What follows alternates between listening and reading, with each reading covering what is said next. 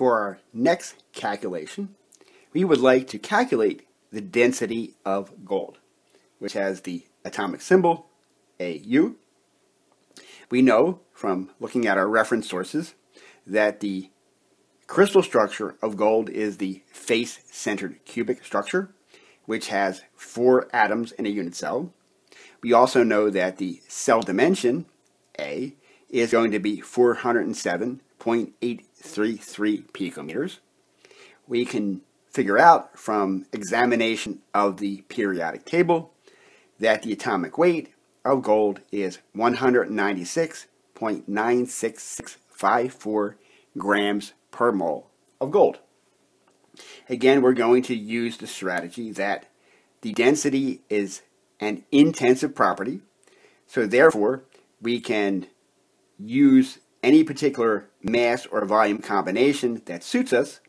We are going to calculate the mass of one unit cell and the volume of one unit cell and use those data to calculate the density of gold. First, let's check the volume of a unit cell. We notice that the edge length A is 407.833 picometers, and this is by definition 10 to the minus 12 meters. We convert this particular length in two steps. First, we recognize that the 407 can be written as 4.07833 times 10 to the second power. And then we have our times 10 to the minus 12 meter part here. Then we recognize that I can regroup and first write the 4.07833 numeric part, and then I can calculate the powers of 10, the 10 to the second power times 10 to the minus 12, and that is equal to 10 to the minus 10 meters. As a side note, the dimension 10 to the minus 10 meters is equal to a unit called the angstrom, which is a non-SI unit. And the angstrom has this particular symbol. The angstrom is a useful unit to remember because the distances between atoms in molecules is roughly on the orders of angstroms. So typical bond lengths are one or two angstroms, depending. In the case of gold, it's four angstroms, but it's on the right order of magnitude for atomic dimensions in molecules. Our next step, having essentially shifted the decimal point for the edge length, we would like to convert this to the units of centimeters. We recall that one centimeter, by definition, is 10 to the minus 2 meters. So I can multiply by this conversion factor, which effectively acts like the number 1. The units of meters cancel, and I'm going to be left with the proper dimensions I want, which are the units of centimeters. I realize that 10 to the minus 10 divided by 10 to the minus 2 will give me a power of 10 of 10 to the minus 8.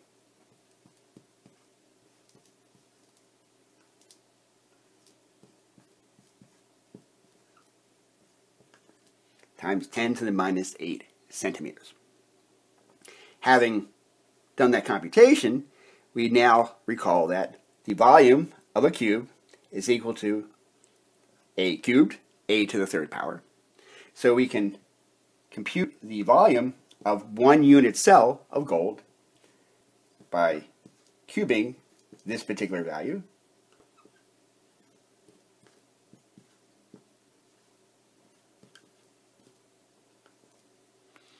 And if we do that, we get the dimension as being 67.83395 times 10 to the minus 24 cubic centimeters. Even at this stage, we would like to apply a reasonableness test unit cells are very, very, very small. They're microscopic. So if you were to get a positive power of 10 at this point, that would suggest that unit cells were a macroscopic size, which doesn't make sense. So uh, if we don't get a negative exponent here, right away we would realize that we must have made a serious error.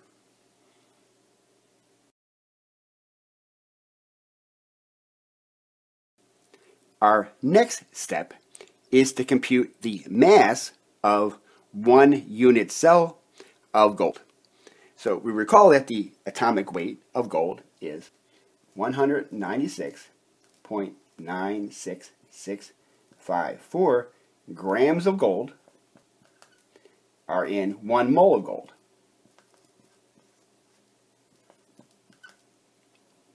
We also recall that by definition, one mole of gold consists of 6.022 times 10 to the 23rd gold atoms.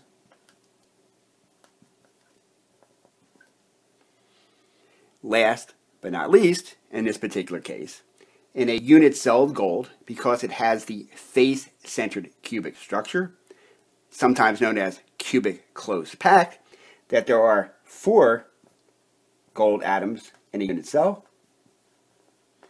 And we use these data to compute the mass of exactly one unit cell of gold.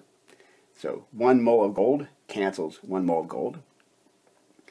Gold atom cancels gold atom. And we're going to be left with, just kind of show here, the units that we want, which are grams of gold. And we see that the mass of one unit cell is going to be 130.831 times 10 to the minus 23 grams of gold. So we are able to determine the mass of a unit cell of gold, just as we were able to compute the volume of a unit cell of gold. So now we can compute the density, because this is going to be the mass of a unit cell divided by the volume of a unit cell. So this is just a matter of repetition here. So we have 130.831 times 10 to the minus 23 grams. And then the volume of a unit cell we had previously computed as being 67.833. 9. 5 times 10 to the minus 24 cubic centimeters. And we see already that what we're aiming to get is a density in terms of the units grams per cubic centimeter. One, because that's the most common density unit, particularly for chemists, but also we can compare it with our knowledge of what a reasonable density would be on planet Earth. Again, we can use the fact that using the commutative and associative properties of numbers, I can break this computation into a powers of 10 part and a non-powers of 10 part. So the non-powers of 10 part, the number part, is 130.831 divided by 67.83395. And then the powers of 10 part, to the right is going to be 10 to the minus 23 grams, divided by 10 to the minus 24 cubic centimeters. When we do our computation, we always, always, always, we write the units at every step. If units are required, we write them every single step, no matter what. Okay, so now we compute the non-powers of 10 part, and when we do that, we see that this is equal to 1.9287. And then our powers of 10 part, we have 10 to the minus 23rd divided by 10 to the minus 24. When we divide powers of 10, we subtract the exponents. So our new exponent is going to be minus 23. So just kind of put this off to the side show what we're doing with the exponents is we have minus 23 minus a minus 24, which is equivalent to minus 23 plus 24, which gives us an exponent of 1. And our units are grams per cubic centimeter. Last but not least, to convert this to a pure number and not a scientific notation power of 10 thing, we realize that 10 to the first power is just 10. So that gives us a density for gold of 19.287 grams per cubic centimeter.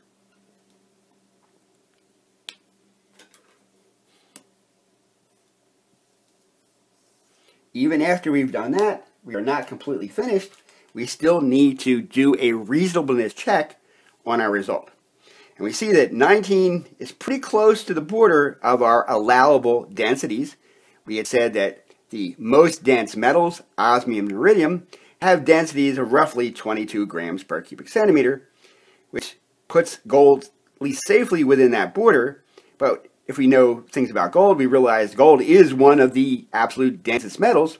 So this is not only within our limits of around 1 to 22 grams per cubic centimeter, but it's at the high end, and that's in keeping with what we already know about gold.